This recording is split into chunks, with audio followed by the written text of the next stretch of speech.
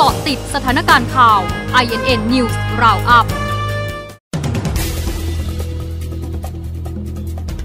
19นาฬิกา12 นาที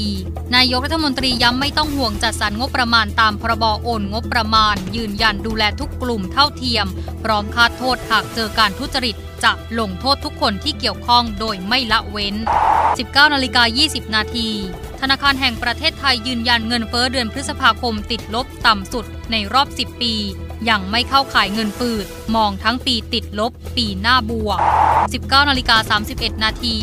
ผู้ว่าราชการจังหวัดเชียงใหม่ประชุมเตรียมการเสนอโครงการภายใต้กรอบแนวคิดนโยบายการฟื้นฟูเศรษฐกิจและสังคมของประเทศ จากผลกระทบโควิด -19 19นาฬิกา47 นาทีหนุ่มหัวร้อนวืดประกันต้องนอนเรือนจำหลังยิงปืนใส่แฟนใหม่อดีตภรรยาบาดเจ็บ สารชี้พฤติการอุกอาจ ร้ายแรงไม่เกรงกลัวกฎหมาย ล่าสุด 19นาฬิกา53 นาที กระทรวงพาณิชย์เผยโควิด -19 ทำยอดการใช้สิทธิประโยชน์จาก FTA และ GSP ช่วง 3 เดือนแรกปีนี้ หดตัวร้อยละ 9.97